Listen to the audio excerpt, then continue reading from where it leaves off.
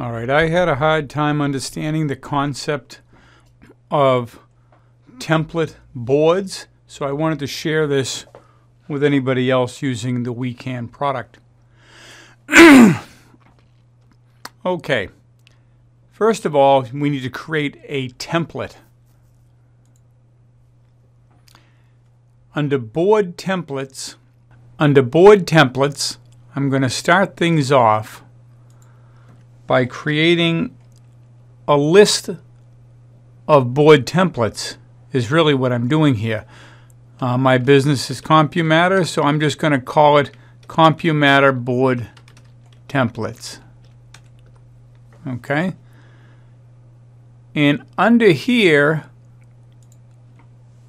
I'm going to create a new board, which I will call New Repair clients. Now, there was some confusion in this process for me because previously um, I used, you know, I would have created my different lists here. I would have expected this whole thing to be a board template, but this is how you do it.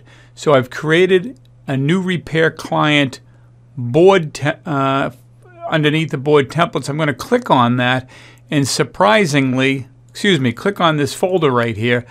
And when you click on the folder, this is a new behavior.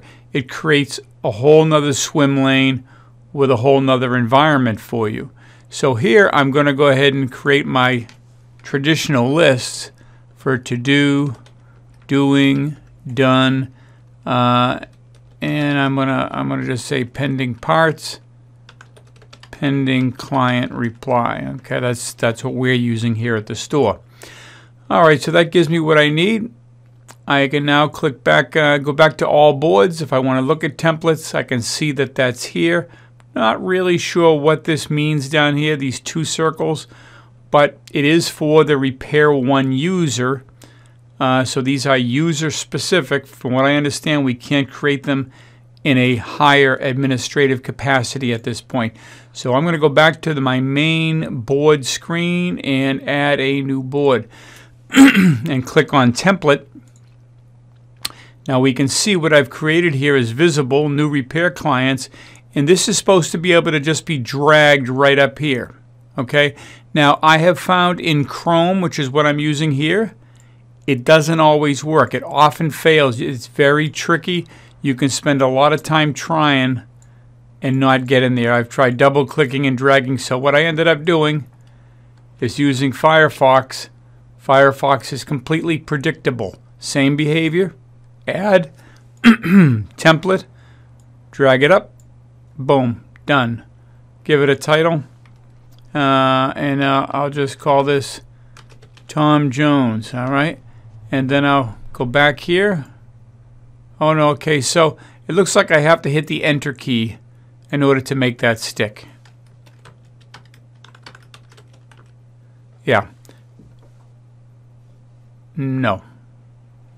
There it isn't. Try this again. I'm just going to hit enter here. Okay, so hitting enter there made the bottom drop down disappear. If I hit enter again, still nothing. Hmm. Maybe if I start off by giving it a name. No, that doesn't matter. Maybe if I just close this now. Nope.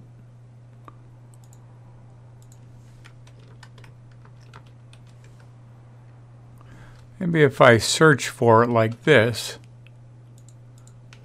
No.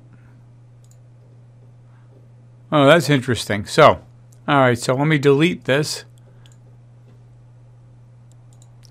And I'll delete it from the archive. So let's show you how we succeeded at getting that in there. Add template, title, and here I just clicked on this. Yeah, I just clicked on it one time and it brought it in.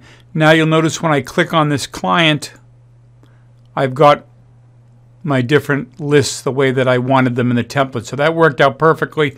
now let's take a look back in here in Chrome where I was having a problem before. See the idea, see this is a universal drag me symbol. So I my initial reaction was to drag and it also turns into a plus sign which would indicate that's the correct behavior, but nothing happens. If I click on it, it works just fine. So that's the behavior. I hope this helps somebody else uh, in creating board templates for use in Wekan.